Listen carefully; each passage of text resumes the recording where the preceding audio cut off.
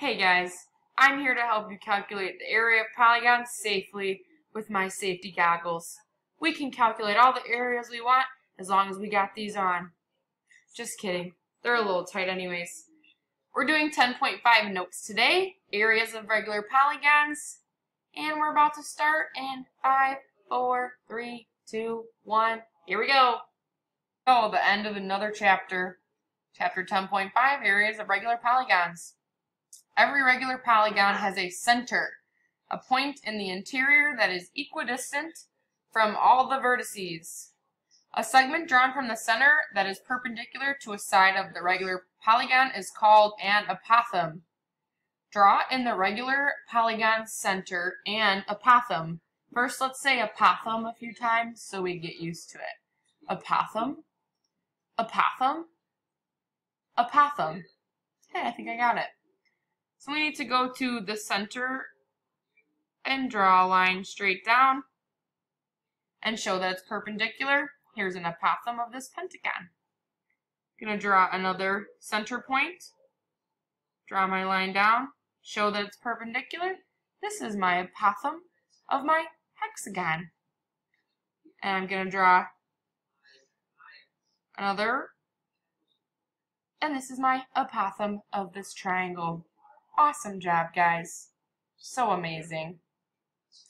So, here we go. Oops, not drawing lines very well today. If a regular polygon has an area of a square units, an apothem of a units, and a perimeter of p units, then area equals 1 half AP, which is a apothem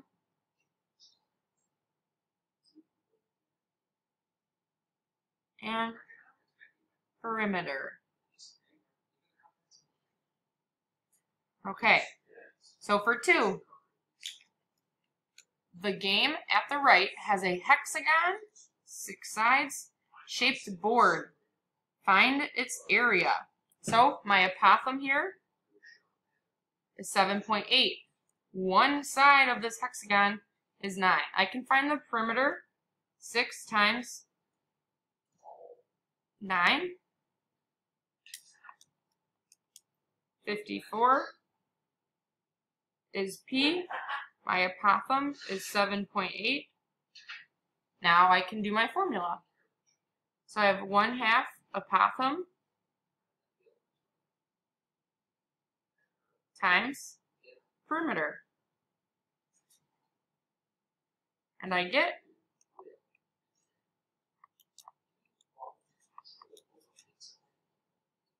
two hundred and ten point six and it's inches inches squared. Because again, it wants area, so our units are squared. Awesome. All right. Each of the tiles in the game is also a regular hexagon. Find the area of one of the tiles if the sides are each 0.9 inch long and each apothem is 0.8 inch long. So we're going to draw another hexagon just so we can see it. Here's my apothem. I know it's 0.8 and my side is 0.9. My perimeter, 0.9 times 6. Perimeter equals 5.4. And my apothem is 0.8. 1 half apothem perimeter. And I get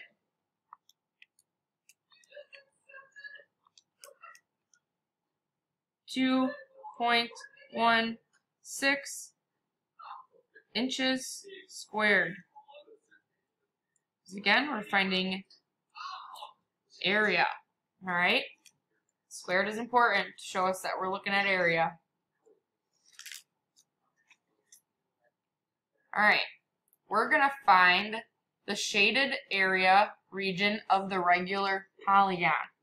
So this is kind of two parts. So the first part we're going to do is find the area of this whole thing and then find the area of this triangle. Or actually we can divide this area into one, two, three, four, five triangles. I'll show you. So let's first find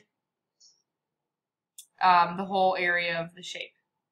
So we have our apothem, which is 5.5, and one side is 8, so 8 times 5 is 40, which is our perimeter, our apothem, 5.5. And now we can do 1 half apothem, 5.5, perimeter, 40. I get 110 feet squared, but it wants us to find the shaded region. So we're finding only this, okay? So if we divide this number by 5, because we have 5 triangles in this shape, we get 22 feet squared, and that's going to tell us how much this is. If we do 110 minus 22. Whoops, 110 minus 22. We get 88 for the shaded region. I'm going to double check by using the formula we know for a triangle, which is 1 half base times height.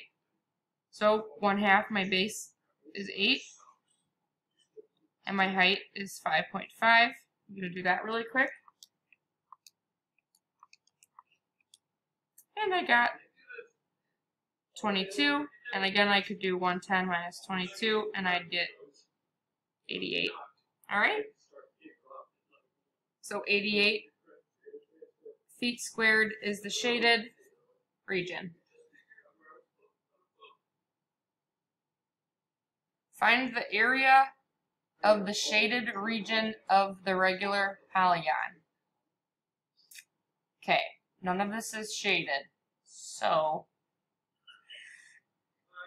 I'm not really sure what it wants us to find. Let's just say this is, let's say this is our shaded region, okay? So we're going to find the area for this whole shape, and then we'll find the area from this shape and subtract the two, okay? Why is blurry? Alright. So we have 1 half apothem perimeter. 1 half my apothem. 2.4 my perimeter. 2. This is a eight-sided figure.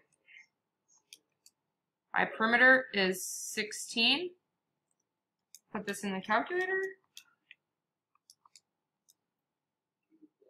19.2 for the whole shape. Now, I have a trapezoid. One half base 1 plus base 2. This is area of a trapezoid, right? So I have 1 half times my height times base 1, 2, plus my second base is down here, 4.8. And now I can solve for that.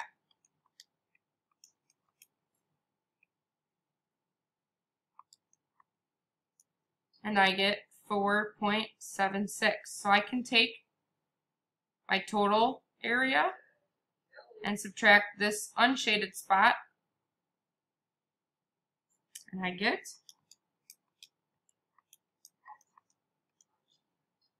Fourteen point four four meters squared for this shaded spot. Okay, last but not least, we're going to say that this is our shaded spot. First thing we're going to do, find the area of our whole shape, then find the area of our square, and then we are going to subtract. So first, 1 half, apothem perimeter. My side length is 12 times 5, 60. My apothem, 8 and one third. Oh, these fractions. Killing me. One half. So, if I do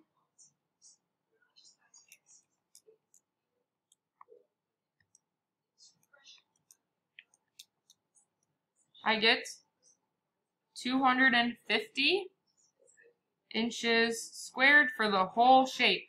Now, for my square, squares are just base times height, so 12 times 12, 144 inches squared. And I can do 250 minus 144. And I get 106 inches squared for my shaded spot. Awesome. Alright, guys. If you have any questions on the notes or the homework, we can talk about it in our next Zoom session. Um, I hope this went okay for you guys. I don't think it was too difficult. Again, it's revisiting some things you already knew, like area of a square or a triangle. Um, I know the polygon areas are a little new, but kind of applying things to each other and getting things done. Awesome. See you guys in our next Zoom. See ya.